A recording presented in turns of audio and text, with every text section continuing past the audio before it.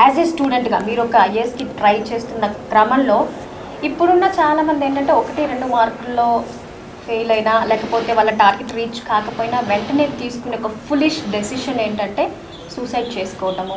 లేదంటే ఏదైనా అజ్ఞాతంలోకి వెళ్ళిపోయి కంప్లీట్గా వాళ్ళ లైఫ్ స్టైల్ మార్చుకొని ఎవరికి ఇది కాకుండా ఉండడం అలాంటిది ఉంటుంది. మీరు అలాంటి స్టేజే దాటి వచ్చారు కదా మీరు అలాంటి ఏం ఫేస్ చేయలేదా? అంటే రెగ్యులర్గా వాడే ఒక మాట మనకు ఫేట్ లేదు మనకు అవ్వలేదు అనే మాట ఎక్కడ మీరు ఇది తెచ్చుకోలేదా? మీకు మీరు ఆత్మన్యూనత భావం అనేది ఇక్కడ రాలేదా మీకు? ఖచ్చితంగా వస్తుంది. కానీ దాని యొక్క డిగ్రీస్ మారుతాయి. ఓకే. అంటే ఇంకోలా చెప్పే ప్రయత్నం చేస్తాను. ఓకే.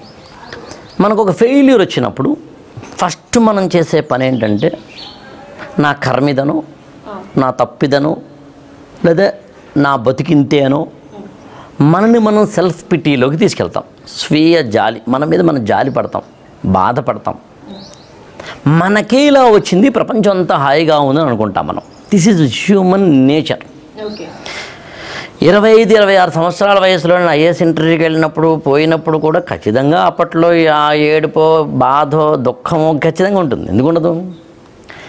కానీ అప్పటికీ ఇప్పటికీ ఎప్పటికీ నేను మరణించేంత వరకు నాలోంచి పోని ఒక ఎలిమెంట్ ఏంటంటే పోరాట పటిమ.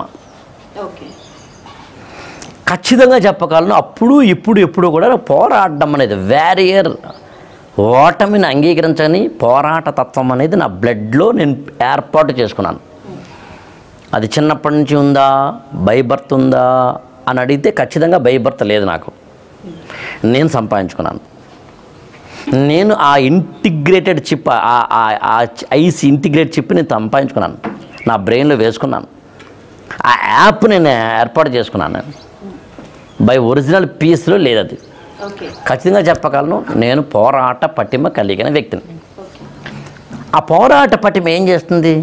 ఓటమి నువ్వు పొందినప్పుడు ఫస్ట్లో నీకు ఆ ఓటమి అంగీకరించే పరిస్థితి ఉన్నప్పటికీ బాధ కలిగినప్పటికీ అందులోంచి నువ్వు బయటికి రావడం అనేది మాత్రం సాధ్యమవుతుంది.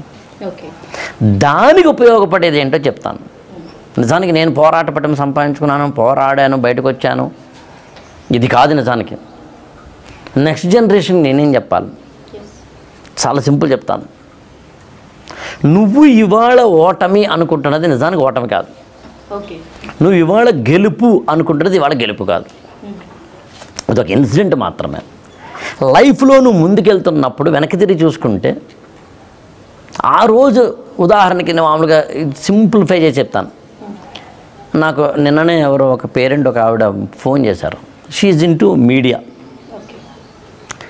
ఆవిడ మా అబ్బాయి బాగా చదవట్లేదు మా అమ్మాయి బాగా చదవట్లేదు అని చెప్తున్నప్పుడు నేను ఒక మాట అన్నాను నేను. మీరు కూడా ఇంటర్మీడియట్లో బాగా చదివారా? ఫస్ట్ క్వశ్చన్ రెండు. మీరు ఇప్పుడు చేస్తున్న anchoring news presentation whatever you name it జర్నలిజమో దానికిను మీరు చదివిన బీటెక్కి లింక్ ఉందా? అంటే మనందరము ఇవాళ మోడీ పీజీ చేయడం వల్ల ప్రధానమంత్రి అయ్యారా? బీటెక్ చేయడం వల్ల ప్రధానమంత్రి అయ్యారా? మదర్ తెరీసా ఏ డిగ్రీ చేయడం వల్ల మదర్ తెరీసా అయ్యారు? మీరు చిన్న చిన్న ఉదాహరణలు చెప్పండి పెద్ద ఉదాహరణలు చెప్పండి. హెయిర్ కటింగ్ ఎలా చెయ్యాలి అనే దాని మీద డిప్లొమా చేసిన తర్వాత ఒక అతను హెయిర్ కటింగ్ సెలూన్ పెట్టుకున్నాడా. అరే బాబా జీవితంలో బతకడానికి స్కిల్స్ వేరు జీవితంలో బతకడానికి ఉపయోగపడే విజ్ఞానం వేరు పుస్తకాల్లో ఉండే విజ్ఞానం వేరు. పుస్తకాల్లో ఉండే జ్ఞానం ఏమిటి అని అడిగితే ఇంటికి పునాది లాంటిది.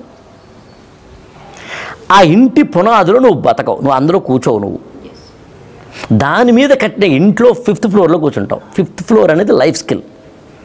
Or the knowledge which is useful for the life ఒక క్రైసిస్ వచ్చినప్పుడు రోడ్డు మీద పడిపోయినప్పుడు ఒక student equal to MC square అనే సూత్రం తనకు కాపాడదు for every action there is equal opposite action అనే Newton third law కాపాడదు. A plus B whole square is equal to A square plus B square plus two AB ఈ సూత్రం అతనికి అతను కాపాడదు మరి కాపాడేది ఏంటి? కింద పడిపోతే లేవాలి రాబాయ్ అనే కామన్ సెన్స్ కింద పడడం సహజం రాబాయ్ అనే ఒక అవేర్నెస్ అందరూ పడ్డారు నేను పడ్డాను రాబాయ్ అనే ఒక అవగాహన. జీవితం పట్ల అవగాహన. ఉంటూ చాలంతే ఇవి అలవర్చుకోవడానికి ఉపయోగపడే బేస్ చదువు.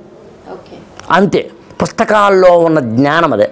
వరల్డ్ హిస్టరీ చదువుతున్నప్పుడు సెకండ్ వరల్డ్ వార్ ఎందుకు జరిగింది? ఫస్ట్ వరల్డ్ వార్ ఎందుకు జరిగింది? ఇండియన్ హిస్టరీ చదువుతున్నప్పుడు అక్బర్ ఎవరు? బాబర్ ఎవరు? హుమయూన్ ఎవరు? అలెగ్జాండర్ ఎవరు? ఇవన్నీ మనం చదువుకుంటూ ఉంటాం మనం. ఇవన్నీ ఇవాళ ఉపయోగపడవా ఉపయోగపడవు. ఇవన్నీ సంబంధించిన నాలెడ్జ్ అప్లికేషన్ ఉపయోగపడుతుంది. సో ఆ అప్లై చేయగలిగిన విధానం మనకు తెలియాలి. That is most important